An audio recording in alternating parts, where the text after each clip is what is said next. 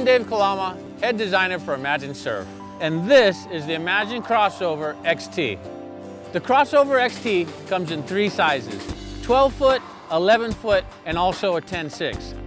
The Crossover XT has the same construction as the GC, but what we've done is simplified the graphics so it's more affordable for you to get out on the water.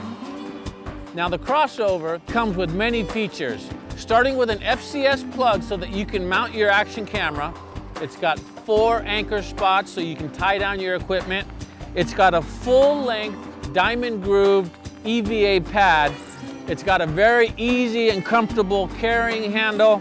It's got a mount in the board so that you can put a windsurf sail and it comes with a leash plug in the tail of the board so that you can always be safe when you're out on the water.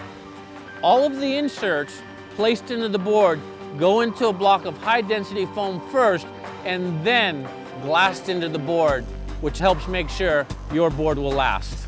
The Crossover XT is a premium molded constructed board. We've put extra glass along the rail to increase the breakage strength as well as the durability. And it's got wood laminate in the standing area to reduce the heel denting. What makes the crossover so versatile is all the design features we've put into this board.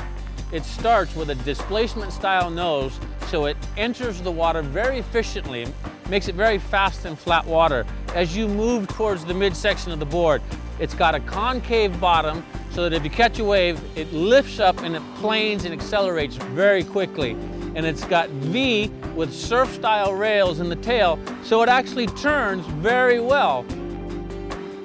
If you're looking for a premium constructed board that's good for flat water, downwinding, surfing, and all of the design characteristics make it the most versatile board in our line.